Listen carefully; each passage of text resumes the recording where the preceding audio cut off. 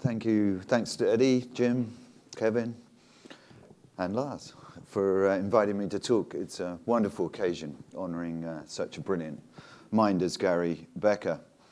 Um, like all of us who've uh, spoken here, Gary was hugely influential uh, and influential on my work, but perhaps in a more indirect way than for many of us here. In fact, my first face to face encounter with Gary was being asked to present at the Becker seminar. I'm glad you, Kevin, mentioned the word suffer. Uh, I was preparing uh, the introductory slide to give the introductory slide, expecting, you know, a regular sem- seminar. But Gary was having none of that. He said straight to a question on page 29. And after, this is 30 years ago, I can still remember page 29. It was a fantastic interchange. He got right to the heart of the paper. Uh, of course, you feel a little beaten up, but elated too, and a much, much better paper after that. Uh, in fact, that was the time when we were just starting building the empirical group at uh, UCL. And uh, it was very timely to, give, uh, to be at that seminar because it really hugely influenced uh, the way we tried to set up the re- research atmosphere and interchange in seminars at, uh, in the department. And I think it, that, um, that legacy still of Gary and that seminar still uh, lives on uh, in the department. Uh, of course, many trips here, all fantastic, lots of interchange with, uh, with Gary, Jim, and others. In particular, I think of uh, this, the, um, the wonderful conference that Erik Hurst ran, in fact, in 2010, put together at BFI on household production. Uh, that's where I tried out some of the ideas I'm going to talk about today. And uh, Gary, in true form, was like in, in the front row, like an excited student. Um, his influence extraordinary. He was really extraordinary. Uh, you can see the way his work completely shifted the agenda. At my own institute, the IFS, um, the family and human capital are now right in the center of the research agenda, and that's a real tribute to, uh, to Gary. In fact, it was only uh, about a year ago, uh, the last time I really interacted with Gary, that uh, we ran, uh, I helped run, in fact, a tax policy forum at BFI, and uh, Gary was very engaged and involved at that, firing questions. Still difficult to think that he's not here. In fact, I did think about talking about tax and human capital. Maybe I should. But I then remembered back to a conversation I had with Gary uh, back, in fact, when he visited UCL in 2010 for the SOLE meetings, which quite a few people here, Eddie and others, were at. Uh, a lot of fun. And uh, he became intrigued by uh, a, a, kind of puzzle. Gary likes puzzles, and uh, he's the one to solve them too. And it was the puzzle you may be familiar with about the relationship between uh, income inequality and consumption inequality over the working life, which I certainly studied and many others too. And uh, there's a kind of puzzle there that uh, it looks like um, that families respond a little bit too little to very persistent shocks in the labor market. So get a very persistent shock, you'd think that would uh, change the consumption perhaps in the household. And uh, doesn't seem to do quite as much as it should. And in conversation with Gary, he said very simply, well, why don't we just look at the way family time allocation works? Can that do anything? And in fact, we just thought about over coffee how we put in a family labor supply model, and that's exactly what I'm going to talk about here. So at least it's a tribute to Gary. And uh, so let me tell you a little bit about this. This is joint work. I've been working with Luigi Pistaferri at uh, Stanford a long time on this. He's an ex-student from UCL. And Itay Saporta, who's now in Tel Aviv, uh, who was a student of, of Luigi's at Stanford. And uh, we have an earlier paper, and this work is uh, extending that. It's still, um, bits of it are still in its infancy, but I'll give you a bit of background. In a sense, the question is very straightforward. It's um, it, it, how do families deal with uh, adverse or labour market shocks? Um, it's a pretty important question. Um, of course, Gary taught me and taught us all the importance of interactions within the family, time allocations, consumption expenditures, and that's going to be kind of key, more key than I thought originally. As I said, they uh, turn out to be uh, central to understanding the mechanisms that families use. The, the idea here really is that um, you, you want to know how the family is reacting to shocks, because if you want to design policy, you can't do that in abstract. Uh, you have to know exactly what the family is doing, and then you put that together and think about how best to design policy. And uh, they also, of course, uh, and that was one of the motivations here. In fact, the motivation is to bring this all together. It also helps us understand the links between uh, different measures of uh, inequality and their evolution, largely over the working life I'm going to be thinking of here. Um, in fact, the way I tend to think of this is, you know, we're, th there's a lot of different measures of inequality out there at the family, household level, individual level. You think of uh, wages, um, and in fact, labor economists will work on wages. That's almost where they stop. Um, then you get uh, moving into earnings and, uh, and, and joint earnings. Um, these are economists who study household labor supply behavior, through to family income, typically public economists there, and then right through to consumption.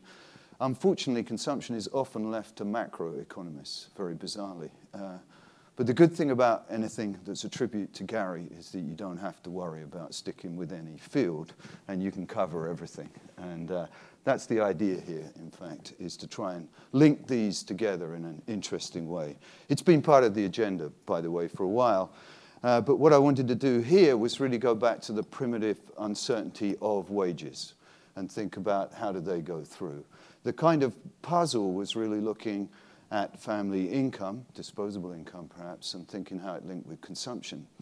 And you might look at that and think, well, it's very linear. You know, if I know wages to earnings, and then I, I could do all these kind of separately. What's the, what's the point of bringing it all together? Well, think about it for a second. And of course, if there are interactions between what you do in the labor market, hours of work, or what you do at home, time spent on different activities at home, then they link to consumption. And of course, they cause a, a kind of disturbance in this nice linkage here. So if you really want to understand how wage shocks are going to affect consumption, you have to th think about, well, if wages affect the way allocations happen in the in the household, because hours of work and hours, non-market hours, uh, between couples, say, you have to think then how it's going to affect their consumption allocations too, their consumption. And then you might stand a chance. Uh, it turns out this, is, this does work, and I'm going to try and convince you uh, that, in fact, if you put all these bits together, you get a pretty good description linking all these together, and you don't really need much more which I've always thought is good because uh, you could think about lots of other mechanisms that families might have for kind of smoothing, some strange kind of insurance mechanisms that they could buy or, or, or some networks. But we know really deep down that they're not going to be of central importance. They're going to be quite important for some people, but they can't drive everything. And so that's the idea here. And, we, and the way I think about this is that all the linkages are are, um, are kind of insurances. The way families react to these shocks is just a set of um, the most general definition of an insurance you could think of. So we're going to have family labor supply or time allocations. I must say here it's going to be pretty simple. Um, and, uh, but not completely simple. The, the standard labor supply model is not going to work here. You need a lot more interactions than you would normally have. There are kind of complementarities going on here that are unusual, uh, but they're quite important, in fact. Uh, the obvious one being among uh, family members, among couples. And that does quite a lot, in fact. Um, of course, not a lot of insurance. If your preferences are complementary, that's not going to help a huge amount. And uh, I'll show you how you can twist from complementary kind of preferences to still getting some insurance, which is really about substitution in a way or offsetting effects. But of course, we can't really do this in a vacuum. Uh, we need to think about um, taxation because taxation can give you interactions that are really not about preferences directly. They're just about the way the tax system works. Because after all, the, uh, the tax system in the US and many other countries often treats uh, family income as the base, the tax base. Um, and the, UK, the US is particularly uh, has, you know, joint taxation right the way through, really, from the way food stamps and EIT, EITC is, is, is, um, is, uh, is eligibility is set up right through to the taxation. UK, we have uh, joint taxation in, in benefits and welfare payments, but individual taxation in the personal tax system. These can, obviously, when you think about um, reactions to wages, you've got to place them through how, how after, tax, after tax wages if you want, and then uh, dependencies there just by shifting you around on your marginal tax rate as somebody else changes can give you interactions that are, that are not really, you know, they're not really deep in preferences. They're about the way the system works. Naturally, you want to think about saving as well, assets, and that's going to be pretty key. Informal contracts, gifts, they're things that are pretty hard to measure. When we do measure them, they're not hugely important, at least for many households in their working life. Uh, but we're going to model them as a kind of general, as, as I've done before. The, the idea then is to think about how important each of these mechanisms, how do they change over the life cycle, and then the policy question is that, you know, how do you design policy to best ensure those shocks? And uh, that I'm hardly going to touch on here, that's other work. Well, in addition to assets and taxes, what we're going to do is find a key role for the, the idea, basically, the Gary suggestion. It solves a kind of puzzle here. Um, there's a lot of work on family labour supply, of course, and, and, and, much on the interaction with consumption, but it does a pretty good job here, and so I think it's important. Consumption inequality is, is, is pretty interesting um, for microeconomists as well as macroeconomists. And I always get, you know, here's a picture of the UK, cohorts in the UK, consumption inequality, just the variance of equivalized log consumption. And uh, if I take, you know, just done by uh, age here, if I take guys at age 40 and I look across the cohorts, uh, you can see younger cohorts have just got a lot more inequality in their consumption. Um, of course, over time, if cohorts are coming in and out, you can uh, see how that might look. Um, but you can also see that that where cohorts start in the, in the, at the beginning of their life, their working life cycle, there's already a lot of inequality. And that I'm not going to address here a lot, but uh, you can, you know, the question of how much is that inequality in human capital, how much is that inequality in transferred wealth or finance is a key question. I'm going to be really looking at cohorts, following them through and seeing how they react. But there's a lot of key things here. And uh, you kind of, you know, that looks pretty much like a, it makes you comfortable with a life cycle model to see inequality going like that. Income doesn't go like that, by the way. So there are linkages uh, clearly between income and consumption, but it doesn't follow the same pattern. In fact, inequality at the household level in uh, income itself tends to fall back once people retire and that. But of course, consumption inequality, if you've got a, a half decent model in mind, should keep going and not fall back. And you saw it doesn't. So at least we've got some chance of a decent model working here. The US, there's, and there's a lot of work on the US, this is just one thing that Orazio Attanasio and colleagues put together, where you get this similar jump in variance of consumption. It's more difficult to go back in time in the US because there's not very good consumption measures, although I'm going to be looking at the US here just for fun, mainly.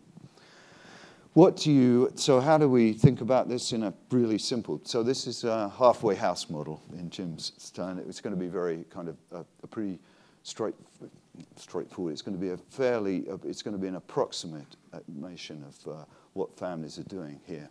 But you're thinking of the transmission of shocks over the working life and the mechanisms. That's the, they're the kind of things here we want to and that's going to be, they're going to provide the linkages. So if you imagine doing an impulse response here, you know, you, you shock the distribution of wages or labor market shocks, and then you track out how things are changing over the working life and all these other dimensions.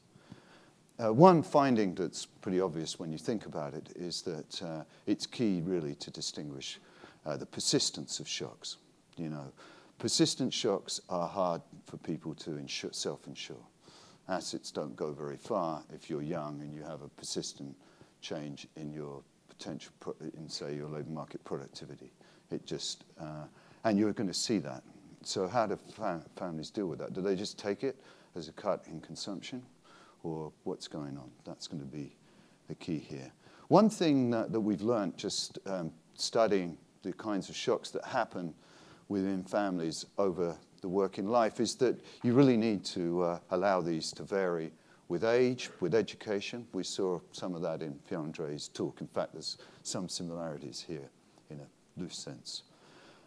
of course, much data is, um, the, the, panels that we have are kind of rather small to really dig into this. And uh, I've been working with uh, a colleague here, Magne Mogstad, on Norwegian panel. And it's kind of interesting. The things we found there are going to hold up in many different economic circumstances. But the, ooh, going the wrong way. The, if you think about the variance over the life cycle of the persistent component, so I won't go into great detail how we're identifying that, but just think of it as, a, as getting the, the persistent component to earning shocks here. You can see overall it seems to have a U shape in there. This is by age of uh, families, working age families in Norway. Um, uh, one interesting thing in that paper that we've done together is that we, it's an insurance paper too. It's looking at how well the uh, tax and welfare system in Norway deals with those kind of shocks. That's the kind of key idea of all this work. You see that for everyone. If you look at uh, low skilled in Norway, you can see um, the, the, the, dotted line is what happens after, that's to the variance of persistent shocks to their income after you allow for a tax system. And uh, you can see it just pretty much flattens the whole thing out and really cuts it down.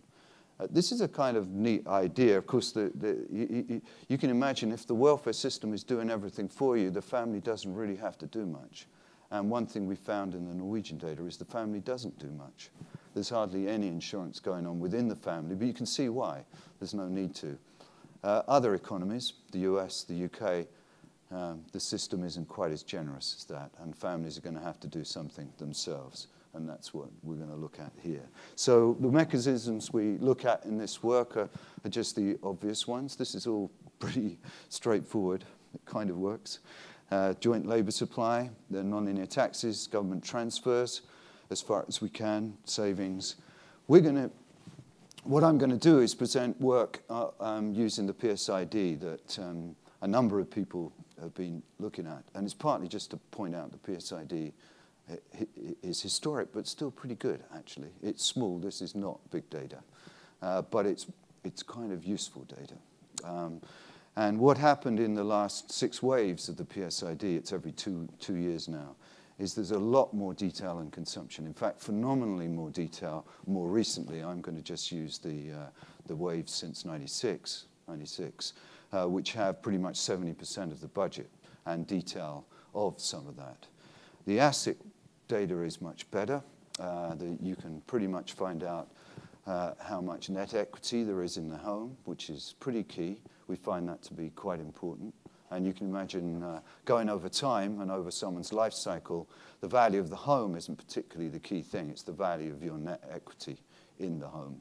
And uh, you get pretty good measures of outstanding mortgage debt, outstanding financial debt, total financial assets, and total house value. And so you can construct different measures of the assets available to this family at a particular time. And that's pretty important. And I know, I really don't know any other data set that puts all these bits together actually in such a nice way.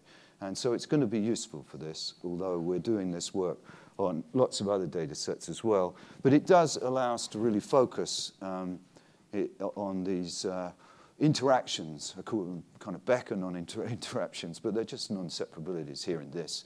Because what I'm not going to be doing is using the time use data. So Eric would be upset about that.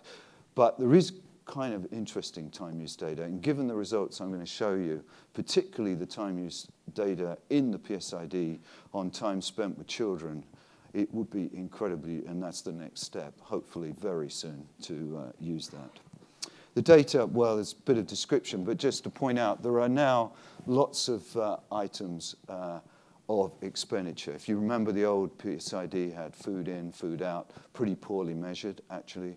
Now we've got uh, a, a, pretty systematic coverage. I haven't really got time to go through this. We're going to select, um, for the baseline work here, we're selecting pretty boring households. they're kind of couples, they're reasonably stable in the middle of their working life, just to get a handle on what's going on here. It would be, uh, and that's why the total sample size in each year is around 2,000. Um, uh, and we've got uh, detail on assets, on uh, first and second earners, participation rate. For this particular group, the, uh, the, the, the, head doesn't, the, the head, the, the male doesn't really have, much, there's very little non-participation over the whole year. Of course, we're looking at, we're going to look at working hours over the whole year. That's the measure here. There's lots of issues with the measures, but I, will try and convince you you can learn quite a lot from here. So the wage process um, is going to be also very simple, and it's certainly not where I would stop.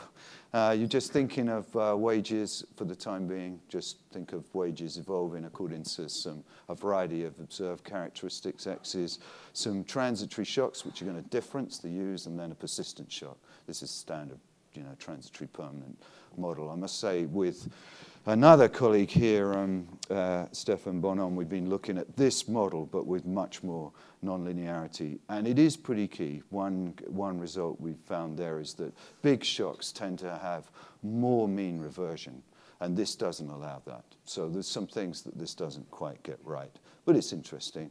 And we're going to allow this to be um, to be some correlation. So this is where it gets a little closer, more interesting, because we allow correlation in the family between the shocks. And uh, that's going to be important. So we allow the variances to differ across life cycles. So different periods, different education age groups are getting different, drawing from different variances, different shocks. And there's correlation. Is it negative or is it positive? Uh, we know it's positive, of course. You never find any insurance on the shocks. It's not as, quite as positive as I first thought, by the way. Here's the baseline group, uh, young, college educated. Uh, but nonetheless, if you look at the covariance or correlation in the row, kind of 0.2, 0.1, it's not that strong. It is significant. Um, so if you're looking for insurance by people, you know, matching with people who have negatively correlated shocks, you're not going to find it here. And it doesn't, you know, given the discussion yesterday, it's hardly the way we think of matching in marriage. Um, and, and by the way, we're going to find quite a lot of complementarity too. So it's going to be hard to find insurance in this, in this world. Uh, but we still find it, and uh, that's going to be the fun. So the household is going to choose its consumption. Expenditure is pretty rational kind of choice model here. At the moment, it's just a pooled model. It's not a collective model, although in a sense it's fairly, it, it's really a descriptive model, and uh, we're hardly using any of the, the, we're not doing any welfare analysis here. There's no, um, and uh, so we're not really buying into any particularly difficult model. We're going to um, note that uh, we're going to allow, this is where the complicated um, interactions happen. Uh, labor supply, so often when you write down a model, certainly many macro models, um, you just get what we'd say additivity, substitution for sure. Just, you know, things have to be substitutes. Um, we're going to allow for complements, and that's going to be key here. And the, the, the key about this is that the, the new bit, in a way, is that whether you get complementarity or not depends on the family structure. And this is the kind of uh, underlying the kind of Becker idea, I guess, is that you can imagine when you have young children, uh, childcare is pretty important. That's, one, that's a kind of expenditure too, and that's going to give you an interesting relationship between hours, of, uh, hours and expenditure, like I was saying. But also within the household, you only need, you know, one of you can do the childcare. At least that's my experience. And, uh, and so you do, in fact, find uh, quite strong substitution there overall. But as soon as children get older, you revert to complementarity. And so, of course, we'd like to dig more into the detail of that uh, because there are different activities, and it's, it's a little bizarre that I'm not writing down the full activity model of a Becker model, but you still get the, the, the idea here that um, you know, when you're not, when you're doing more leisure type activities or activities uh, then complementarity is, is going to be, you like being with the person, you, you like enjoying those things together. But with young children, that tends to not happen so much. So you get this reversion, and that's kind of interesting. Uh, I'm going to focus on, actually on the other, the complementarity case, because that's the unusual case, because in the standard additive model, you would get you know, some substitution anyway. Um, but even if you've got complements, of course, if you're thinking of a persistent shock, this is a time uh, lifetime model, we think of Frisch, Marshall. Frisch is just the kind of within period complementarity in any period, call it Frisch if you want. Marshall is about, or at least the way I interpret it, is about the persistent shock because it's going to have the wealth effect, income effect in two. And interestingly, they're not huge effects, but they're just enough to do the work that Frisch complements always, even when there's Frisch complements, you always get Marshall substitution.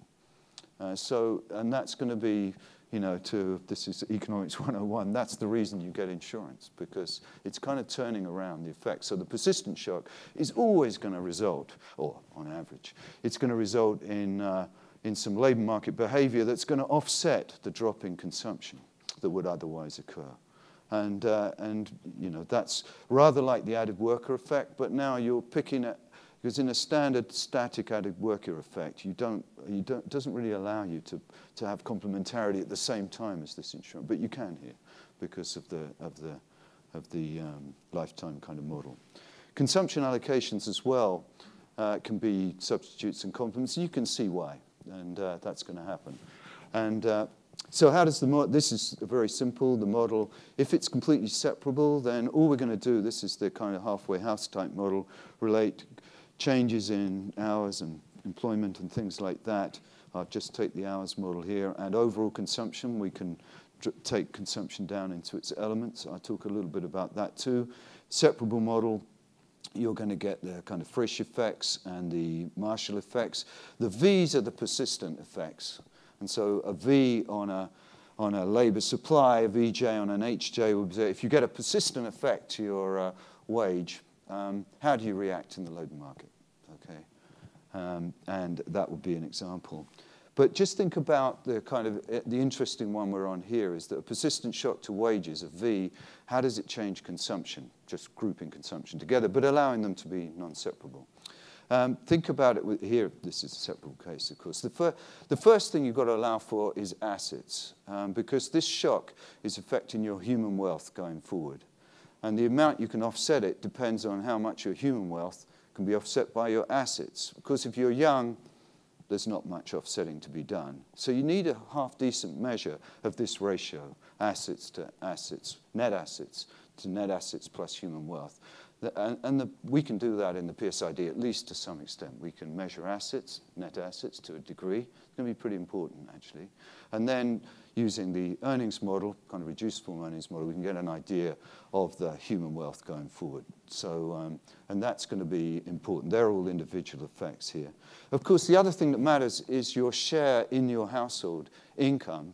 Uh, you, you get a shock, but how important is your income in the household? That's the kind of S ratio, your human wealth to other human wealth in the household going forward, expected. Okay, so again, pretty simple. But these are going to be key. And then all the effects, the kind of interactions happen through the consumption and labour supply responses. I can't really go into much more detail than that, but that's the idea. Once you allow for non-separability, there are all kinds of interactions, and uh, that's going to be the key thing, and we allow the parameters to vary with characteristics. Joint taxation and government transfers are layered over this so you can get some interactions. Um, and we're going to do that. Kind of human wealth, um, you know, if you look in the data, of course, human wealth, we take the couples where the guy's human wealth, that's kind of looking forward, relative share of income. And you can see that it kind of peaks around 40 on average, then declines as, as the woman comes back into the labor market. It's always above, you know, in, on average above 0.6. But there's a whole distribution of that. Because in the data we've got, we can kind of look at individuals and the whole distribution of those things. Similarly, for, um, for pi, for this assets measure, you get a, a, a, pi that's, of course, very low, even on average, when, uh, when families are young. They don't really have much assets relative to their human, their human capital's much more important than their assets. That changes as they get older of course, they've got other assets they can draw on. And that's important. And again, there's a whole distribution of that. There's some households that are just popping along at the bottom with no assets. That might be a kind of rational choice. We're not going to model assets here. This is partial in that sense. We're just going to note that they're getting it. They have low assets. A shock comes along. How do they deal with it? And that's going to be the key. But other households have got, you know, they're, they're really right up there in the asset distribution, as we know. And they can deal with shocks later on in their life cycle very easily. if you look at the model, and again, I've, there's a lot of, uh, of results here, I'm not going to go through it. There are two takeaway things here. This just tells you about the elasticities. This is the kind of standard labor supply model with no interactions. It just blown away the data. You just never can accept this model. You need some non-separabilities. Uh, we know that. We've found that many times before. They're kind of interesting. This is for the child greater than five group, and you see that's where the complementarity is coming in between the labor supplies, for example. Kind of nice. And uh, all, all, these interactions get rejected. We have an outside parameter here, um, beta, which is kind of covering the bit we don't we don't model very well, kind of networks, just things. It's almost like a residual, really. Um, it turns out once you've got non-separability, you could set that to zero. It's not saying there's no other network effects. But with this model, you can, the, you can really relate uh, the shocks of wages and all those things right through to consumption in a pretty reasonable way. Um, and that model is certainly not rejected by the data.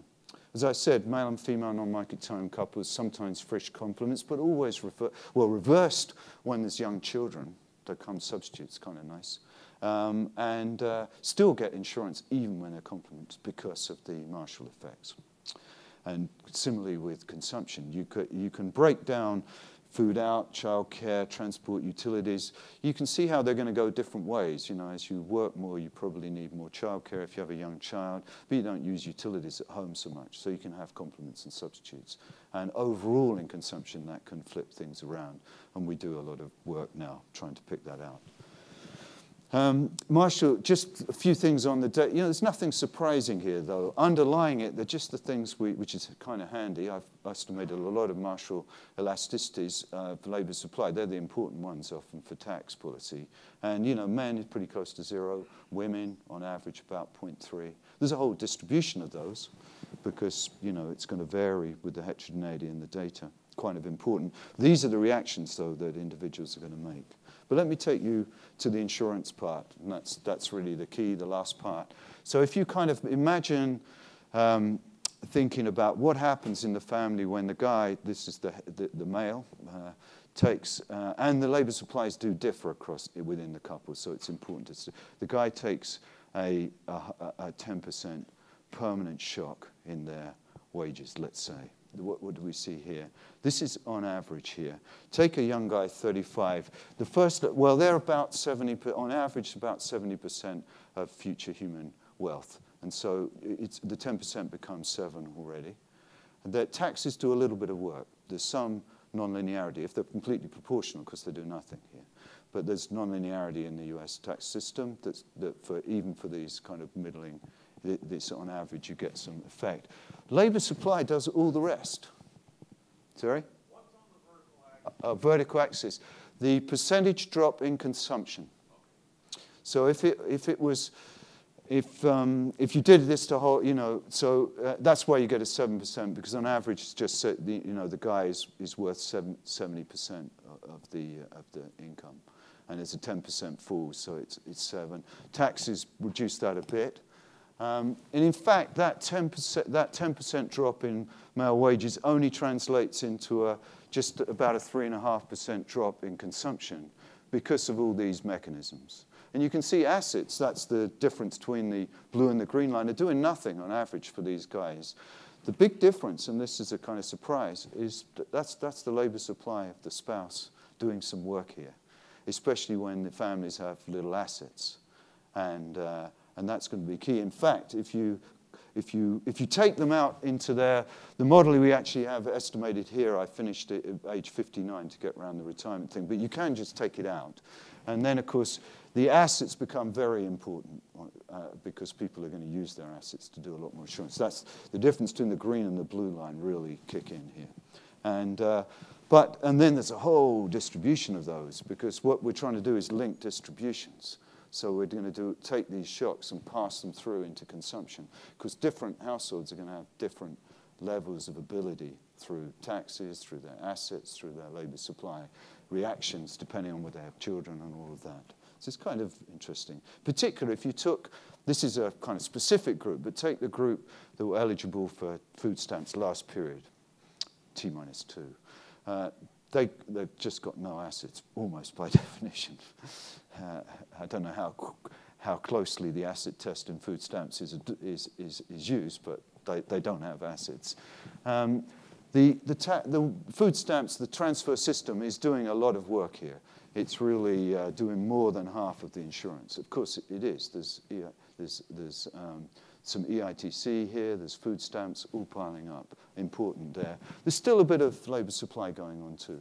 Nothing in the uh, standard kind of credit market here for these guys.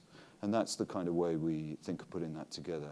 In fact, I won't have time, but if you think, if you do this for women, uh, the opposite, if women take a persistent shock, men do much less insurance on, in, in terms of their labour supply in the household. That's just the way it seems to pan out. There's some, but much less. That reflects what we know, and that is the elasticities are just a little different. Um, and that's, that's really it, uh, a bit of a short summary of it. But the, um, the idea here is, is you know, to, to kind of take a puzzle in, uh, and just, you just add in this interactions in the family. It does do a lot of work. I'm over, it's the last slide. And uh, it's a key mechanism. I kind of thought it might be, but, I, uh, you know, it's interesting that it's there. It only really gets um, interestingly key when you put in these interactions. You have to allow for this complementarity. In fact, if you just have the standard additive model, you just don't get all the insurance that we're seeing here. It just doesn't line up very well. So it's those kind of interactions. I'll call them Becker-Gorman non-separabilities, uh, just to be to acknowledge my old uh, influences. So there's an essential non-separability, and uh, that's going to be key here. But once you allow for this, at least for the kind of middling households in this um, PSID sample, you get taxes, assets, and uh, you, can, you don't really need to find other insurance mechanisms. There's not, after all, what, what are they going to access? There's very little else going on. And that's kind of pleasant to me because now I can explain things without having to kind of account for it by some, um, you know, by some uh, residual thing that I don't really understand. And uh, we can begin to pan. So of course, there's more to be done. There's better panel data. There's the measures of time use, which I didn't realize were quite, there's a very nice sub subcomponent in the PSID on time use with children, and that must be our next thing to look at here. And to, of course, we really haven't, which is a tragedy in a Becker symposium, to uh, really ignore most of what's going on with family formation, and that would be interesting to do. But still, thanks to Gary for those wonderful insights and for everything.